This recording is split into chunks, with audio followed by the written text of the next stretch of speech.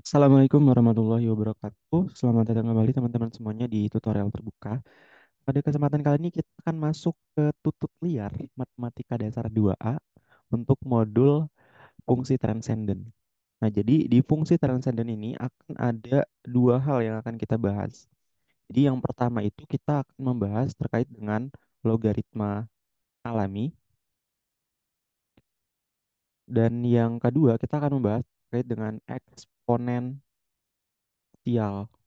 Nah, nanti di logaritma alami kita akan membahas terkait dengan turunan juga. Turunan, kemudian juga kita membahas terkait dengan integral. Kemudian di eksponensial juga sama nih, ada turunan dan ada juga integral. Nah, terus di sini ada hal penting juga yang perlu teman-teman ketahui bahwa eksponensial ini merupakan inverse dari logaritma alami. Jadi merupakan inverse ya. Kayak gitu. Nah, kita akan coba masuk aja ke materinya. Jadi capaiannya adalah bisa memahami dan membedakan fungsi logaritma dan eksponen. Kemudian yang kedua, memahami dan menggunakan sifat-sifat logaritma dan eksponen alami. Yang terakhir, menghitung turunan turunan yang berkaitan dengan fungsi logaritma dan eksponen alami. Nah, itu capaiannya ya. Nah, terus apa saja yang dipelajari? Yang pertama, fungsi logaritma. Yang kedua, fungsi inverse dan turunannya. Yang ketiga, fungsi eksponen alami. Kita coba langsung aja masuk ke fungsi logaritma alami. Nah, fungsi logaritma alami ini didefinisikan seperti ini, teman-teman. Jadi di sini logaritma alami ln x disebutnya sama dengan integral 1 sampai x 1 per t di mana x-nya ini lebih besar dari 0.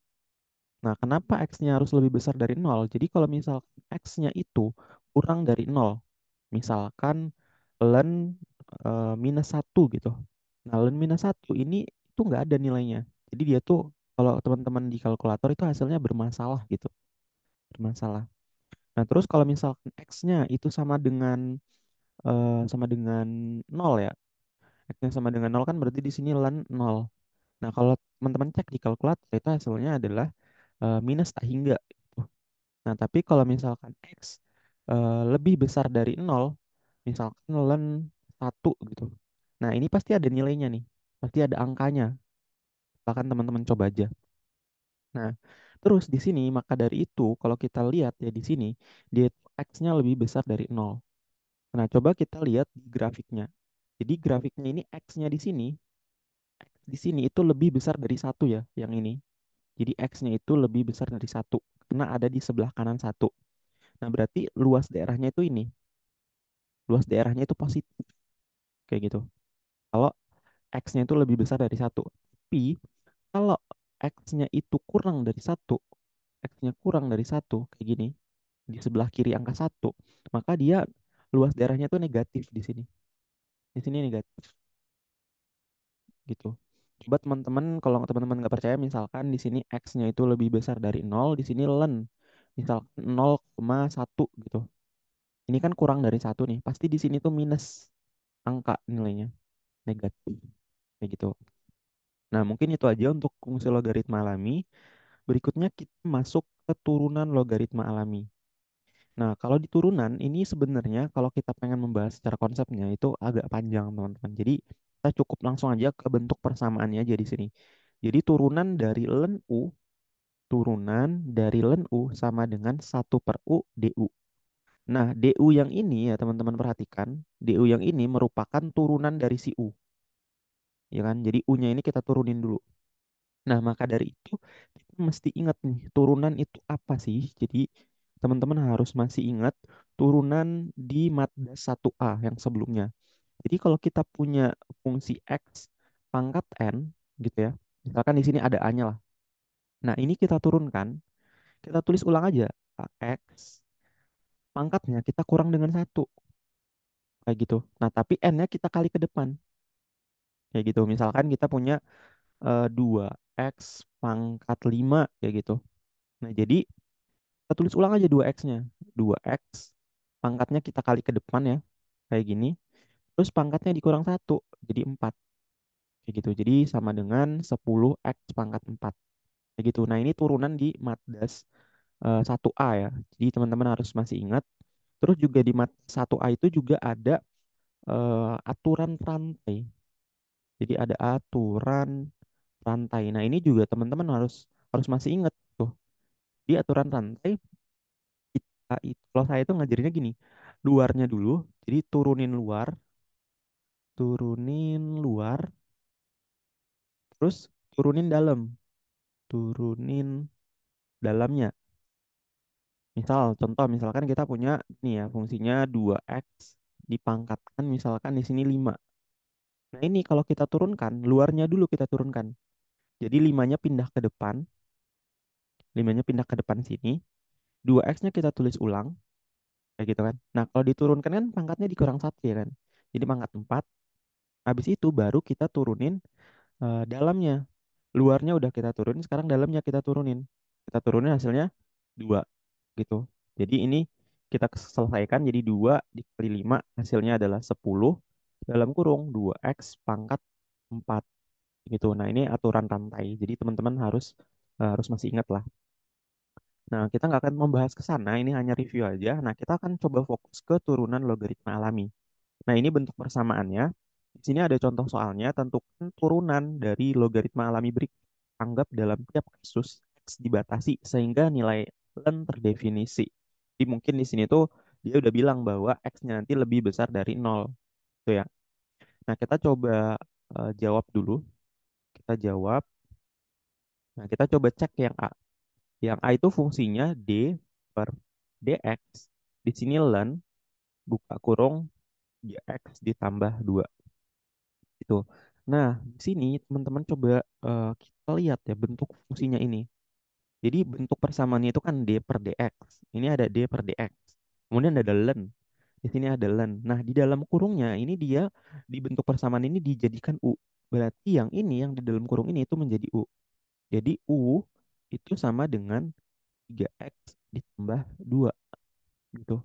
Nah, kita udah punya U nih. Kita udah punya U. Sekarang berarti kita butuh turunan U-nya. Cari tahu turunan si U-nya. Di U ini kita turunin. DU per DX. Jadi menurunkan U terhadap X. Ditulis DU per DX. Sama dengan 3X. Nah, 3X ini kalau kita turunkan hasilnya 3. 2 kita turunkan hasilnya 0 plus 0. Jadi hasilnya DU per DX itu sama dengan 3 gitu ya. Jadi ini kita hapus aja lah. Jadi hasilnya sama dengan 3. Nah, langkah berikutnya uh, kita pindah di sini. Kita tahu persamaannya kayak gini. D per DX ln U itu sama dengan 1 per U DU per DX. Nah, kita udah udah tahu nih nilai-nilainya berapa aja.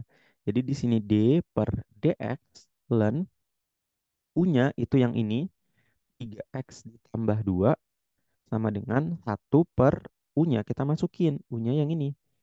3X ditambah 2.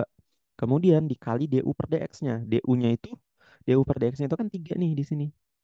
Kayak gitu. Nah, jadi ini hasilnya kayak gitu. Atau kalau pengen dikalikan juga bisa sih.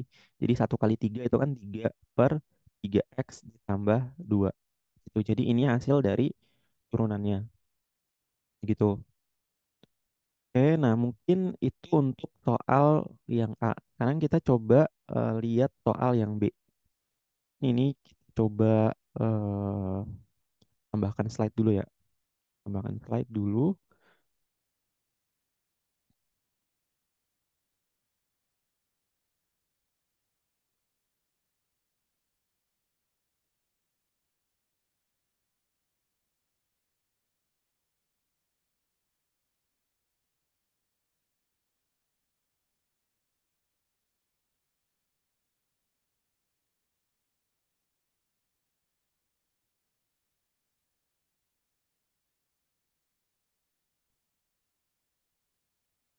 Kita lanjut ya. Sekarang kita coba uh, jawab yang B.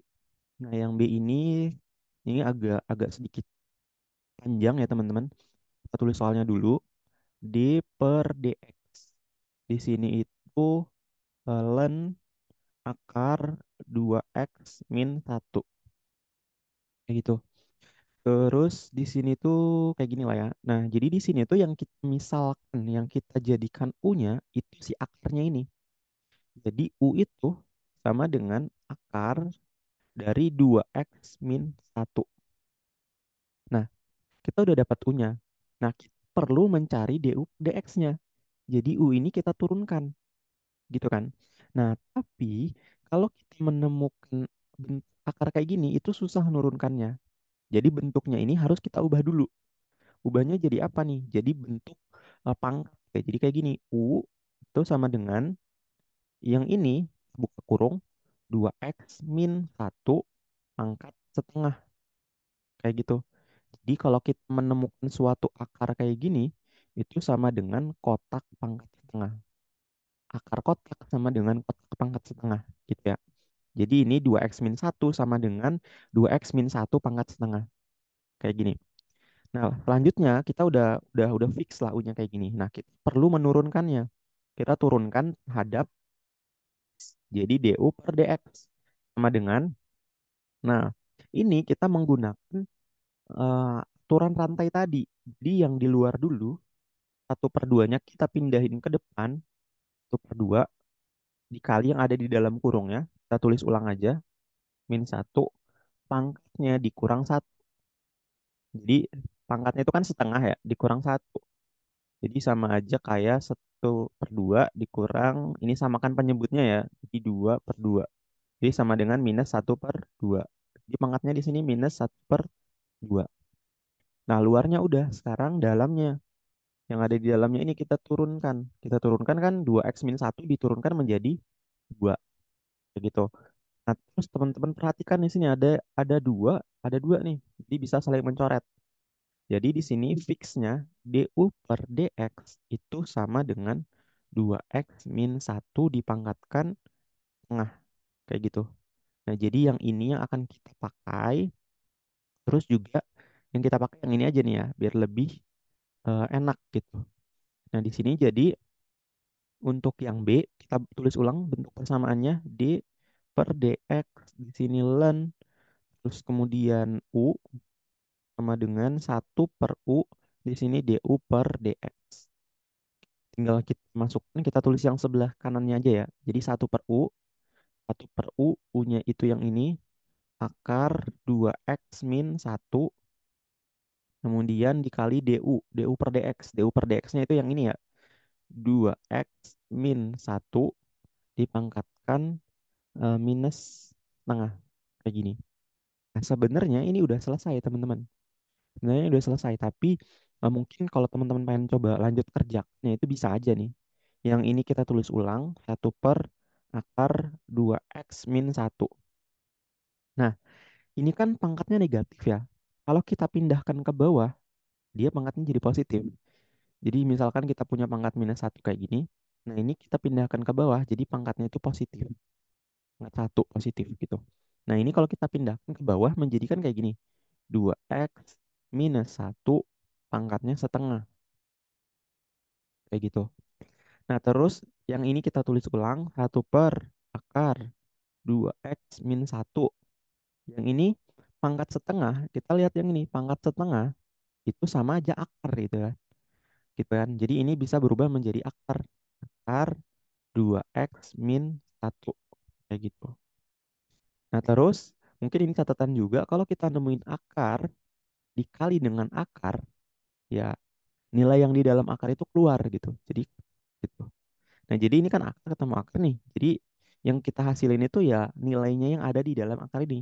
Jadi 1 per 2x min 1 gitu. Jadi turunan dari dari yang ini soal B ini itu hasilnya adalah 1 per 2x min 1. Kayak gitu.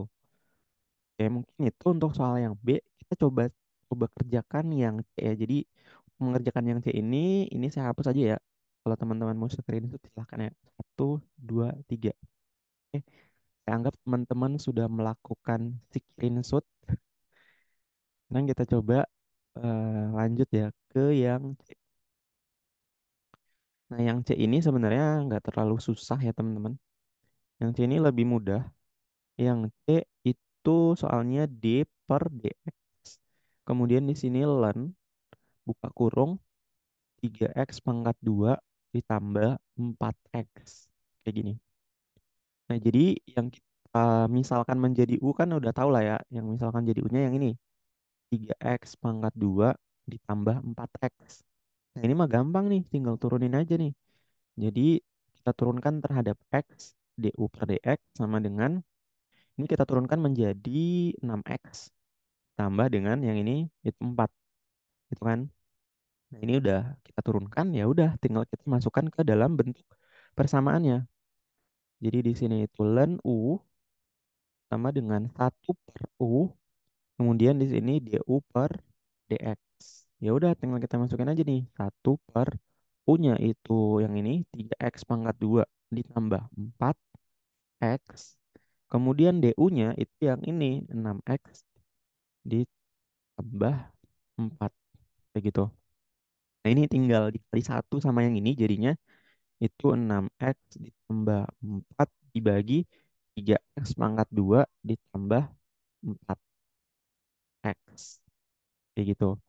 Oke, mungkin itu aja untuk tutorial di part satunya. Kita membahas turunan. Sampai jumpa di part berikutnya. Di part berikutnya kita akan coba membahas terkait dengan integral ya. Oke, kalau teman-teman masih bingung atau punya pertanyaan, silakan teman-teman tanyakan saja di kolom komentar. Saya tutup videonya. Wassalamualaikum warahmatullahi wabarakatuh.